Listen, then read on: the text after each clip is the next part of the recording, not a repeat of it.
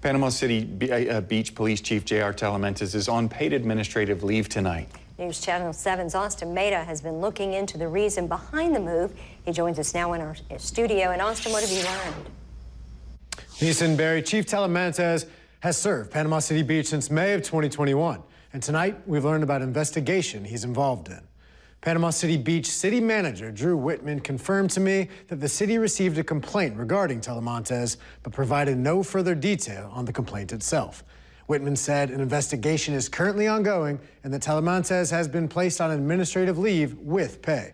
We are told that Deputy Chief Chad Lindsay is currently acting as police chief. Now, chief Talamantez addressed today's news a short time ago on his personal Facebook page in a post reading, quote, Everyone, deep breath in, pause, and now slowly exhale out. Be patient, have faith in the process, and try not to get too worked up, end quote. Now, just to clarify, there are other reports which have incorrectly stated that the chief has been removed from his position. Again, City Manager Whitman confirmed that Talamantez is on paid administrative leave. Guys? All right, thank you, Austin. You can stay tuned to News Channel 7 in the coming days for more developments on this story.